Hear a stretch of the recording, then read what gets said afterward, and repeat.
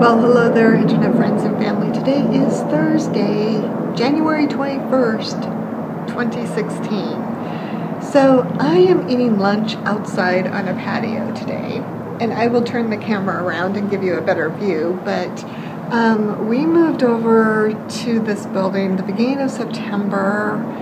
Then I was out kind of from the end of September, you know, half days through the end of December with my melanoma surgery blah, blah, blah. But we have this little patio. There's the door back into the office.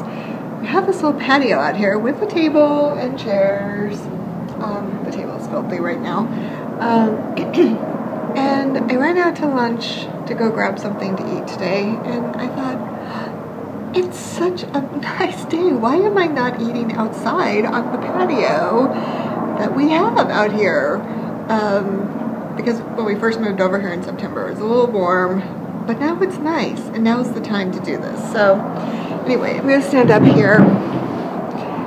Let's see, parking lot, blue sky, uh, more buildings. I have these ginormous uh, pine trees over here in front of this building, and we're close to the hospital, so that's medevac helicopters.